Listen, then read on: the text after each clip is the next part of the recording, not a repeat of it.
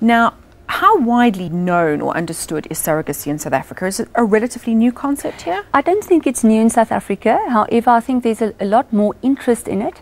Mm. Um, we have a lot of infertility in the country. F according to statistics, it's one out of every six.